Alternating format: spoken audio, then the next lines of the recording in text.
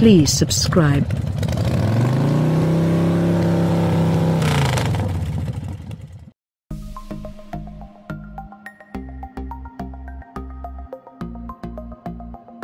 A far cry from the Skittles-colored sports sedans of the 1990s, the new 2018 Audi S4 is more serious about its looks and its mission. The four-door performance sedan now better occupies a space between luxury and high performance with a seamless blend of both. The S4 is available in Premium Plus and Prestige trims. The S4 earned a 7.4 on our overall scale, which is very good for a new car. Its performance and standard features are impressive and it keeps pace with similar offerings from BMW and Mercedes-Benz.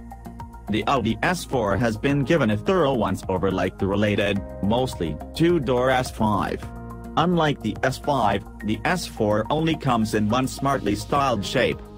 Like the A4 before it, the S4 is sharpened from the last generation, with a lower nose and raised headlights, and sharper creases along the sides, the hood's shunt blinds are hidden by a deeply pressed crease in the body panels and helps the S4 achieve a more serious look. Standard LED headlights help frame the car's arrival. Wispy, but pronounced, boomerang lights look better than their S5 counterparts. Along the sides, the S4 gets a deeper crease in the body that doesn't read big under showroom lights, but is on the road with just a bright disk in the sky projecting one source of light overhead, aka the sun, the S4's body line casts a bigger shadow along the profile that allays are concerned that Audi stylists were lazy, or, perhaps lazier. The S4's interior is subdued, with the same hewn approach as the outside. Deep comfortable buckets are accented by diamond quilting patterns, the door inserts are shot with Alcantara on red contrast stitching. The instrument panel and center console are streamlined with available carbon fiber inlays. Spending more on an S4 gets more interior features but regardless of trim, the S4 is powered by a new turbocharged 3.0-liter V6 that produces 354 horsepower and 369 pound-feet of torque. The single twin-scroll turbocharger is planted between the cylinder banks to feed both sides, but will feed one bank first to reduce turbo lag. In our testing, we found that it works, the S4 never feels out of breath. It rockets the S4 up to 60 miles per hour in 4.4 seconds, which is quicker than the BMW 340i and Mercedes AMG C43. The new Turbo V6 benefits from Audi's long history with forced induction. Turbo lag has been quelled to hardly register with the driver's right foot, most of the available torque comes on at 1,350 revolutions per minute, and the acceleration is brisk and drama-free. The S4 is all automatic this time around.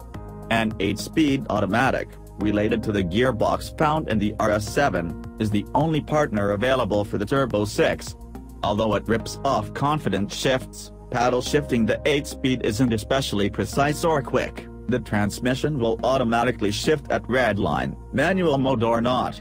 Regardless of selected drive mode, the S4 is eager to upshift to save fuel, unless you're deep into the throttle. Like previous generations, the S4 comes with standard all-wheel drive, which Audi calls Quattro. The 4060 front-to-rear torque split is performance-focused and keeps the car in shape while cornering. Grip isn't easily given up, and when it does the S4 will politely chide drivers back into shape, no wild slides here. Four-wheel independent suspension is standard, and a revised 5-link setup up front has been cast out of more lightweight aluminum to reduce unsprung mass. Adaptive dampers are available on the S4 for the first time and drop the ride height by nearly an inch. Setting the dampers from comfort to dynamic stiffens the car, but we'd stop short of calling the S4 stiff. Each ride select setting, comfort, dynamic, auto, and individual, is closer to comfort than outright performance. It's clear the S4 is meant to be a better all-rounder this time around a newly available sport rear differential, the first time it's been offered on the S4 and the second generation unit from Audi, shifts power side to side on the rear wheels, in addition to front-to-back duty that's handled by the standard center differential. The rear differential makes the S4 a competent performer on the track, but it's also bundled with the sport steering setup that we'd like to tame. Although the dynamic ratio clearly quickens with more speed, its feeling through the wheel is somewhat unpredictable. Dial in the steering, and the S4 is eager to keep things comfort first with a slow ratio, but the performance ledge approaches quickly and the end result can leave the sedan feeling a little too darty. We don't think many drivers will notice unless that exuberance bites back, but we just like a little more progressiveness in the variable ratio. The S4 earns a slight edge over the mechanically related S5 due to slightly better packaging and a better driving position. The S4 is a true 5-seater, 6-footers can sit behind other 6-footers, and the addition of two doors made for better entry and exit into the second row. Up front, comfortable sport buckets are complemented by standard seat massagers and are widely adjustable. In back, the two outboard positions don't have the same bolstering as front seat riders, but are comfortable. Riding hump in the S4 may be a dicey proposition depending on how aggressive the driver is, be sure to call shotgun first. The S4 features standard 60-40 split folding rear seats that help the trunk's standard 13 cubic feet of cargo capacity ride quality in the S4 falls closer to comfort than performance, which our backs appreciated after a long day behind the wheel. Audi doesn't pipe in many engine sounds, and the rumble from quad-tip exhausts out back is fairly muted too.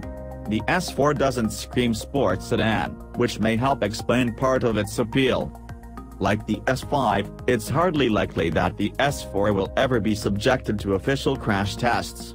In the absence of data, we can draw from the related A4, which was named a top safety pick by the The S4 comes equipped with Presense City Advanced Safety a standard equipment that was rated as superior by the Blind spot monitors, parking sensors, and a surround view camera system are optional extras, but thankfully a rear view camera is standard. The rest of the S4's standard feature list is impressive too. All versions of the S4 get sport buckets with the diamond quilted pattern, front seat massagers, automatic climate control, Bluetooth connectivity, 18-inch wheels with summer 245-40 summer tires, LED headlights, leather seating with Alcantara inserts on the doors, a 7.0-inch driver information screen and a 7.0-inch infotainment screen is standard with Audi's MMI interface. A word about MMI, it runs Audi's native infotainment system very well with its click wheel. Plug in a smartphone and prepare to run iOS or Android with chopsticks. It's frustrating and hard to use. We wish Audi would offer a touchscreen by now, but we can't have nice things. Among the S4's options list, we have our faves.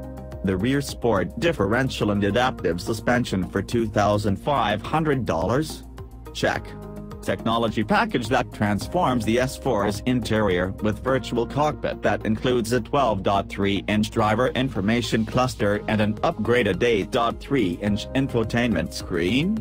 Check. Navarra blue paint for $575? Check again. Pinching pennies? Skip the $1,150 sport steering, too finicky. $500 warm weather package, heated seats are standard and the heated steering wheel doesn't have a flat bottom, and bigger wheels. At $51,875 to start for a Premium Plus model the S4 isn't exactly budget car buying. We get that.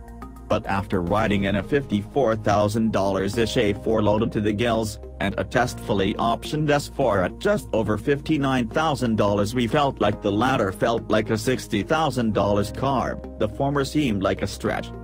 If you're looking for fuel-efficient driving, the S4 will hardly satisfy. The EPA rates the S4 at 21 miles per gallon city, 30 highway, 24 combined.